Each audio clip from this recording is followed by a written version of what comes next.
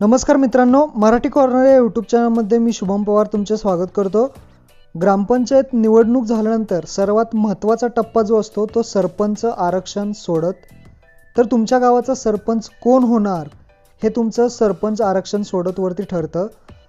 तर सर्व याच्यामध्ये सदस्यांना आनंदाची बातमी आहे कारण की सदस्यांपैकी सुद्धा सरपंच होऊ शकतो.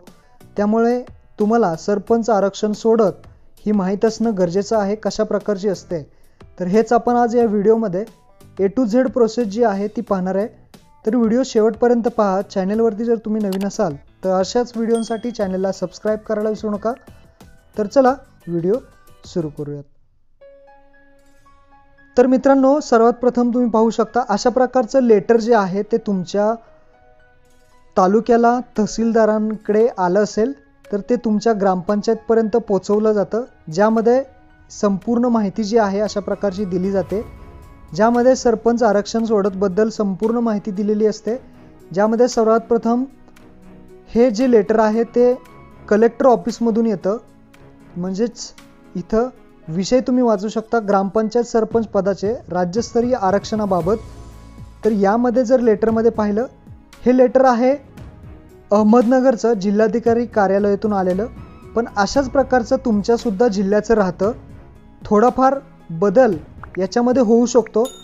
पण एक नव्वद टक्के तरी म्हटलं तर याच्यामध्ये काही फरक नसतो.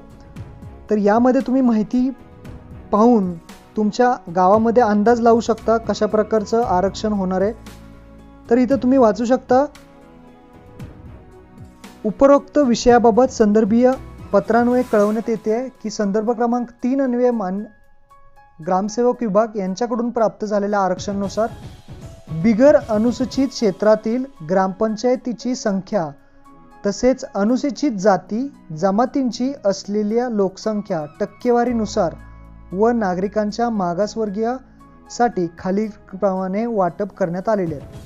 म्हणजे ज्या अनुसूचित जाती जमाती असतील मागासवर्गीय प्रवर्ग असतील महिलांसाठी किती आरक्षण टक्के आरक्षण आहे याची संपूर्ण आकडेवारी जी आहे ती प्रत्येक तालुक्याची तुम्हाला लिस्टमध्ये दिलेली असते.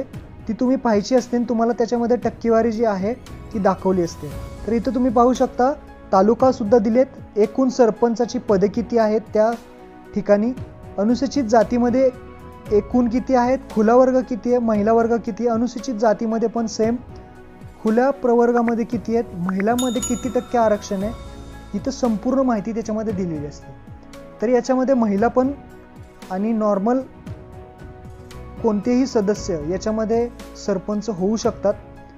तर माननीय ग्रामविकास विभाग यांच्या उपरक संदर्भ क्रमांक एक अन्वय जेव्हा दिनांक पंधरा एक दोन हजार एकवीस नंतर सरपंच आरक्षण सोडत कार्यक्रम राबवण्याचे सगळ्यांना कळवण्यात आले म्हणजे इथं जेव्हा मतदान झालं त्याच्यानंतर आरक्षण होणार आहे तर त्यामुळे कधीकधी तुम्हाला पंचवीस सव्वीस बावीस तेवीसला हे लेटर जे आहे ते येऊ शकतं तुमच्या गावामध्ये.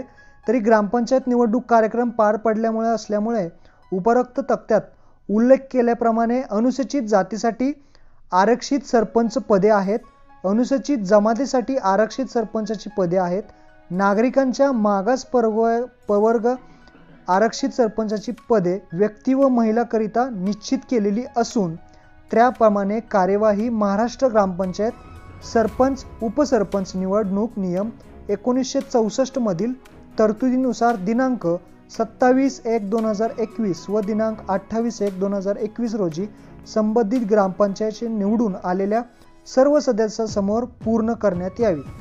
म्हणजेच इथं तुम्ही पाहू शकता मागासवर्गीय प्रवर्ग असतील अनुसूचित जाती जमाती असतील तर सरपंच उपसरपंच याच्यामधून ठरवून तुम्हाला सत्तावीस एक दोन अठ्ठावीस एक दोन हजार एकवीस रोजी संबंधित सर्व ग्रामपंचायत जे आहेत त्यांच्यातले सदस्य रूपानुसार ते पूर्ण करायचे आहेत. आणि हा डाटा जो आहे तो संपूर्ण तुम्हाला जिल्हाधिकारी कार्यालय किंवा तहसीलदारांकडं हा जमा करायचा आहे. ज्यामध्ये अनुसूचित जाती सरपंच पदासाठी आरक्षित केलेल्या ग्रामपंचायतचं नावं देणारे देण्यात येतील तुम्हाला तिथं. ही संपूर्ण माहिती तुम्हाला ही वरीलप्रमाणे माहिती जी आहे तीस एक दोन हजार एकवीसच्या आत नियमानुसार ही तुम्हाला ग्रामपंचायत सदस्य प्रमुख पक्ष यांना आपल्या स्तरावरील अगोदरच कळवण्यात येते आणि प्रसिद्धही द्यावी लागते. अशा प्रकारची ही माहिती जी आहे ही द्यावी लागते आणि अजून अनुसूचित जाती अनुसूचित जमाती व नागरिकांचा मागासवर्गाचा पवर्ग यातील महिलांसह सरपंच महिला पदाचे आरक्षण निश्चित करण्याबाबतची ही सुद्धा कार्यवाही याच्यामध्ये केली जाते. म्हणजे याच्यामध्ये महिलासुद्धा महिलांना पन्नास टक्के आरक्षण असतं आणि त्याच्यामध्ये बाकीचे उरलेले असतील त्यांना पन्नास टक्के आरक्षण असतं.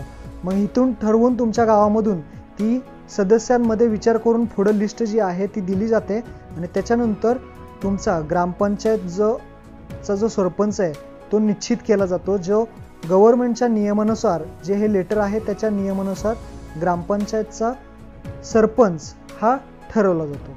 तर अशा प्रकारचं हे लेटर जर तुम्हाला पाहिजे असेल याच्यामध्ये काही वाचायचं असेल अधिक माहिती तर डिस्क्रिप्शन बॉक्समध्ये लिंक आहे. हे तुम्ही लेटर डाउनलोड करू शकता आणि हा व्हिडिओ आवडला असेल तर चॅनलला सबस्क्राईब करायला विसरू नका. अशाच व्हिडिओ आम्ही तुमच्यासमोर घेऊन येत असतो. तर व्हिडिओ सर्व ग्रामपंचायतमध्ये हा शेअर करा या की त्यांना समजेल की कशा प्रकारची आरक्षण पद्धत जी असते ज्यामध्ये आरक्षण पद्धतीमध्ये खुला वर्गाचं अनुसूचित जाती अनुसूचित जमाती आणि महिला प्रवर्गावरती कशा प्रकारचं आरक्षण देण्यात येते ही संपूर्ण माहिती त्यांना समजेल. तर धन्यवाद. जय हिंद. जय महाराष्ट्र.